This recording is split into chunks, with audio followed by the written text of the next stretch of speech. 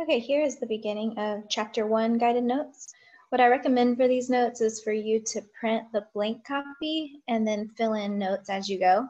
But my filled in notes that you'll see here are also posted on Moodle. But I will go quickly so that you can just stop the video as needed and spend more time on certain problems. So here, chapter one is on matter and measurements. Matter is anything that has mass and occupies space or has volume. And matter is made up of atoms. So atoms are the building blocks of all matter. Everything around us is made up of these tiny things called atoms. And these atoms are found on the periodic table. So every element indicates a type of atom that is distinct from the others. Another way we talk about matter is what state of matter it's in at a certain time. So there's solid, liquid, and gas. Solid going to liquid is melting. Liquid going to gas is evaporation or boiling. Gas back down to liquid as condensation. And liquid back down to solid is freezing. So we could write those on these arrows. So the characteristics of these three states of matter is solids have a definite shape and volume. So you can't easily change the shape and you can't squish it down. The reason you can't do this is because the molecules are already very closely packed together. They also have a very fixed arrangement. So a solid has a real set pattern of atoms that are in almost a grid-like shape um, and arrangement. Liquids, they still have a definite volume, so you can't squish down the coffee in the coffee mug to fit more coffee. And that's because once again, the molecules are still closely packed together. There's no space for the molecules to be pushed together. However, there is an indefinite shape. So this is because the molecules have freedom to move by one another. They're not in a set fixed arrangement anymore. They now have a random arrangement. Gases, however, they have an indefinite shape and volume, meaning their shape and volume can both be changed very easily, and gases will just adapt to the space that you give them. So whatever container you put a gas in, its molecules will spread out as much as possible and take up that entire space. So molecules are spread out, there's a random arrangement there. We classify matter by putting it into different categories. So here we can see in this chart, matter can be put into two big categories, pure substances and mixtures. Okay, and then we can further break these down. So let's talk about each one. Pure substances first. What a pure substance is, is a substance with a fixed or constant composition, meaning it will always be the same no matter where you find it. So if you have pure water and nothing else in it, water here will be exactly the same as water in a different lab, as long as it is a pure substance and it is only made up of pure water. These cannot be separated by physical changes. We'll talk more about that here in a little bit, but you have to chemically change a pure substance to get it to break down. Like water, you need to run electricity through it to break it down into hydrogen and oxygen.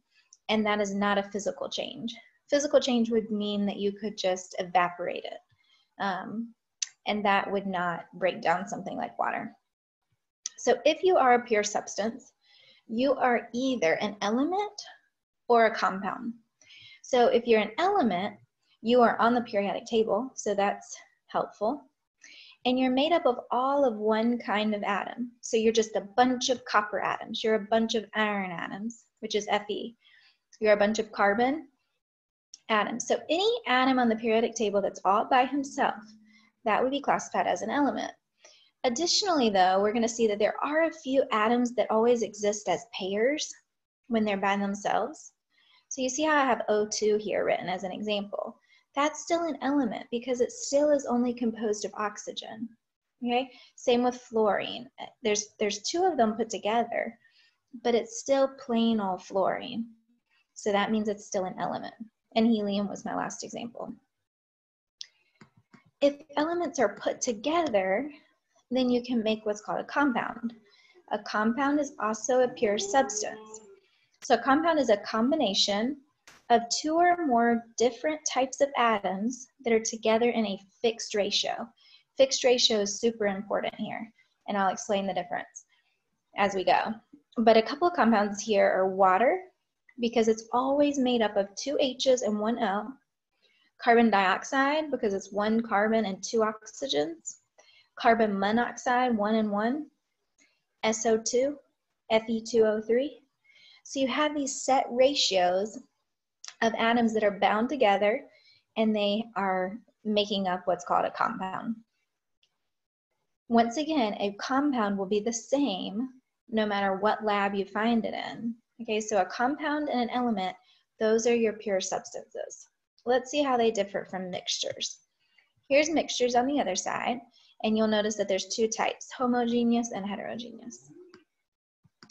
A mixture is a combination of two or more pure substances, but they're in a variable composition. Okay, so you could have two elements, you could have two compounds, you could have a mixture of those.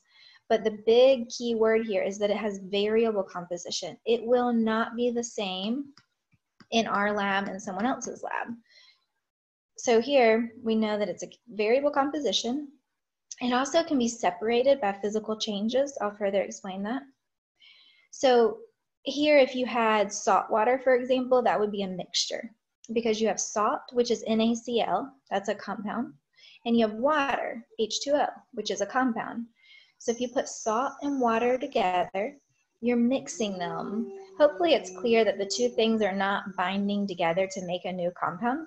They're just both in the same mixture now. And it will have variable composition because if we all made salt water in the lab, mine would have a different composition than yours, meaning the ratio is not set anymore. That's what makes it a mixture. If you're a heterogeneous mixture, that means you are not uniform throughout. So if you were to look at the beaker of your solution, it would not be the same from top to bottom.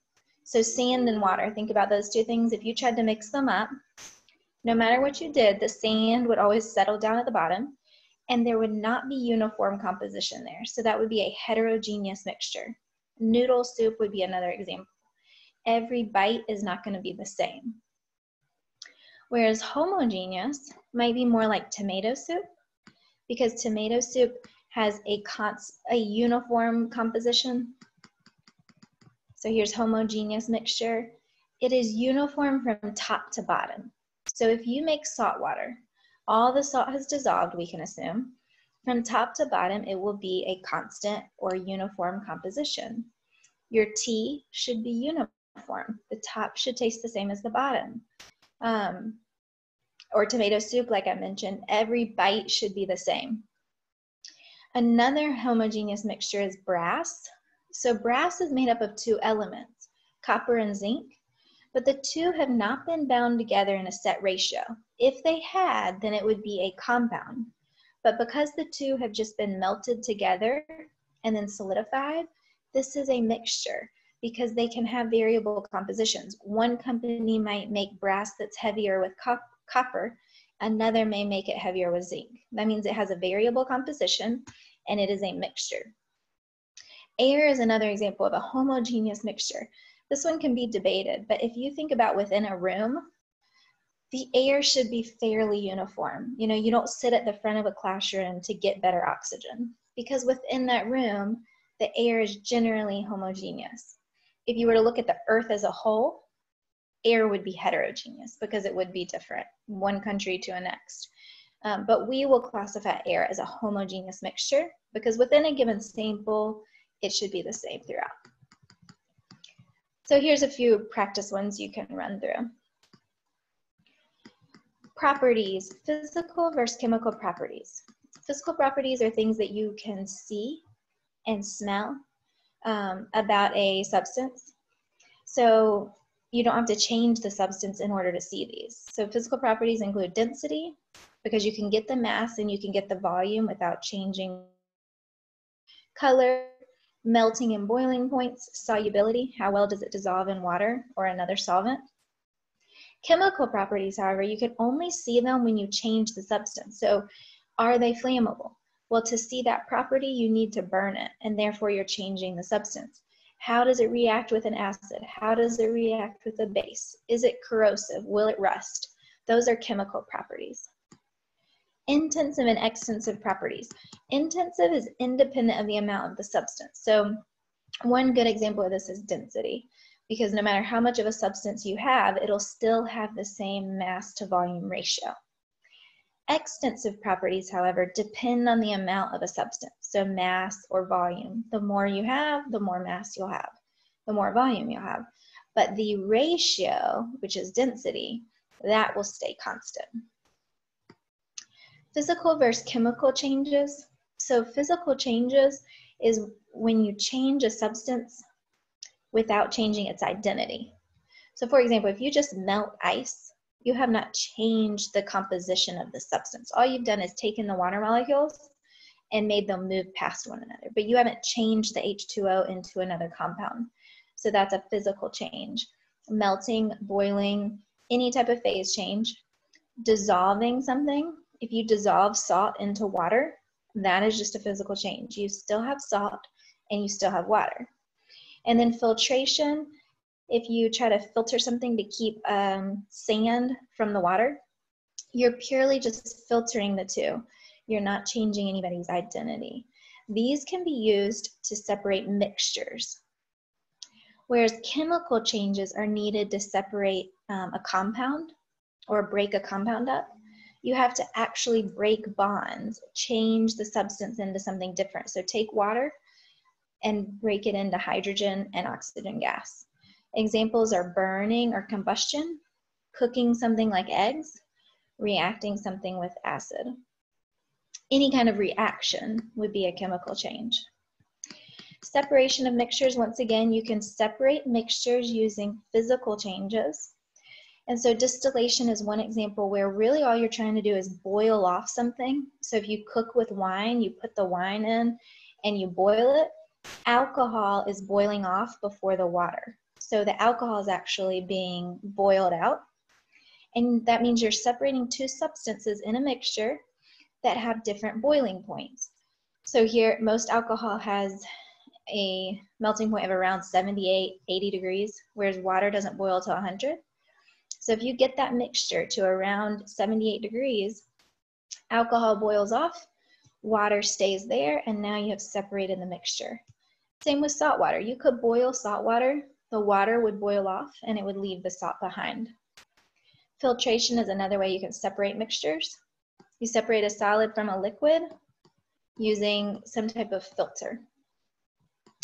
Chromatography we talked the least about, but it's a technique that separates mixtures based on different solubilities. So all of those techniques can be used to separate mixtures, not to separate pure substances. Pure substances require chemical changes to separate them.